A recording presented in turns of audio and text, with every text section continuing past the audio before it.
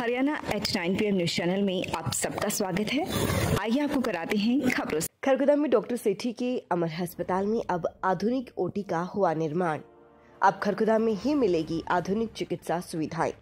आँखों की हर तरह के इलाज व ऑपरेशन के लिए नेत्र रोग विशेषज्ञ डॉक्टर प्रियंका पटेल। नमस्कार दोस्तों आज खरखोदा में टाउन प्लानिंग विभाग और नगर पालिका के जो अधिकारी हैं इन्होंने एक संयुक्त टीम बनाई थी। उद्देश्य ये था कि जो अवैध रूप से कॉलोनी काट रहे हैं, या फिर जिन्होंने बगैर परमिशन के निर्माण कार्य किया हुआ है, उनके यहाँ जा कर के कार्रवाई करें और उन्होंने जो अवैध निर्माण किया हुआ है, उसको तोड़ दें। अब जो पहली कार्रवाई जो स्टार्ट की गई, वो रोहतक मार्ग से स्टार्ट की गई, जहाँ करीब 10-12 एकड़ में कॉलोनी डेवलप किए जाने की टाउन प्लानिंग विभाग को आशंका है। क्योंकि वहाँ पर चार बार पहले भी टाउन प्लानिंग विभाग कार्रवाई कर चुका है। टाउन प्लानिंग विभाग की तरफ़ से मनदीप कुमार गुलिया जी थे और जेई थे, अनिल व और भी स्टाफ था। इसके अलावा ड्यूटी मजिस्ट्रेट के रूप में नायब तहसीलदार अशोक कुमार और जो ज़िला, यो जो खरखोदा नगर पालिका के जो अधिकारी हैं, उनमें सेक्रेटरी संदीप कुमार, पटवारी फुलकुमार व बिल्डिंग इंस्पेक्टर मुकेश कुमार भी मौजूद रहे और पहले दो जेसीबी मंगाई गई थी, लेकिन जो रोहतक बाईपास का जो पॉइंट है, वहाँ पर काफ़ी दूरी तक काफ़ी समय लग गया। वहाँ जो मिट्टी डाली हुई है रास्ते बनाने के लिए, उस मिट्टी को कुरेदा गया जगह जगह से गड्ढे बनाए गए, ताकि यहाँ रास्तों को खुर्द किया जा सके और जो मुख्य कनेक्टिविटी बाईपास से थी, उन कनेक्टिविटी को भी खुदाई करके वहाँ पर गड्ढे किए गए।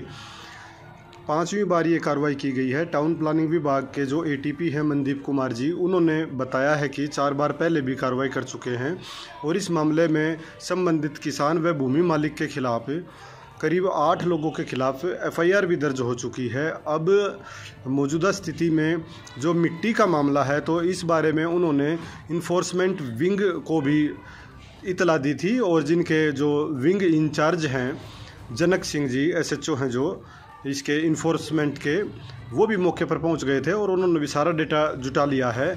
अब वहाँ पर एक कोठड़ा है जो टूबल वाला है, कोठड़ा है। टाउन प्लानिंग विभाग अब उस बारे में भी नोटिस दे सकता है, उसे भी अगली कार्रवाई में तोड़ सकता है।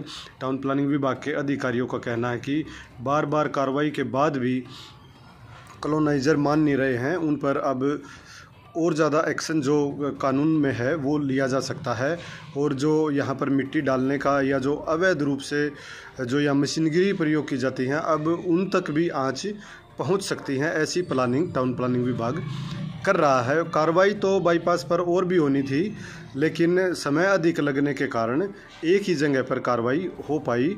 आगे आने वाले शेड्यूल में दूसरी जगह पर भी कार्रवाई की जा सकती है। खरखोदा एसडीएम है जो, वो खरखोदा नगर पालिका की भी प्रशासक हैं और करीब 40 लोगों को नोटिस दिए जा चुके हैं कि उन्होंने बगैर परमिशन के निर्माण कार्य किए हैं और उन पर अब वो कार्रवाई शिकंजा कस रहे हैं, कार्रवाई आगे भी की जा सकती है। तो आप सभी से अपील है कि आप, जो टाउन प्लानिंग विभाग की जो गाइडलाइन है या जो नगर पालिका की गाइडलाइन है, उनको पूरा करते हुए अपने मकानों का निर्माण कार्य कराएँ, उनकी परमिशन लें और फिर कॉलोनी काटें ताकि उन्हें किसी भी प्रकार की कोई परेशानी ना हो सके। दिल्ली में हुई सड़सठवीं नेशनल स्कूल नेटबॉल चैंपियनशिप में प्रताप स्कूल की वृंदा ने अंडर 17 आयु वर्ग में रजत पदक जीतकर हरियाणा प्रदेश व प्रताप स्कूल खरखुदा का नाम रोशन किया। पदक विजेता वृंदा का विद्यालय प्रांगण में पहुँचने पर द्रोणाचार्य अवार्डी ओम प्रकाश दहिया, प्राचार्य Daya Dahiya academic director doctor Subodh Dahiya netball coach Sansar Dahiya व वृंदा के पिता ललित कुमार ने स्वागत किया। सभी ने पदक विजेता वृंदा को पदक जीतने पर बधाई दी व भविष्य में भी अच्छा प्रदर्शन करने का आशीर्वाद दिया। वृंदा ने अपनी जीत का श्रेय अपने कोच संसार दहिया प्रताप विद्यालय प्रबंधन समिति व अपने परिवार को दिया। वृंदा के पिता ललित कुमार ने बताया कि वृंदा नर्सरी कक्षा से प्रताप विद्यालय में ही पढ़ रही है। शहर के राजकीय कन्या वरिष्ठ माध्यमिक विद्यालय में चल रहे साप्ताहिक एनएसएस शिविर का शुक्रवार को समापन हो गया। इस अवसर पर प्राचार्य नीलम रानी ने कहा कि एनएसएस का मुख्य उद्देश्य स्वयं सेविकाओं का स्वैच्छिक सामुदायिक सेवा के माध्यम से व्यक्तित्व और चरित्र विकास करना है। उन्होंने कहा कि स्वयं सेविकाओं ने साप्ताहिक शिविर में जो जानकारी जुटाई है, उसे समाज सेवा के क्षेत्र में अपनाने का काम करें ताकि स्वयं सेविकाओं के रूप में उनकी नैतिक जिम्मेदारियों का पालन हो सके। इस अवसर पर स्वयं सेविकाओं ने राष्ट्रीय युवा दिवस के तहत एक रैली निकालकर पर्यावरण संरक्षण का संदेश भी दिया।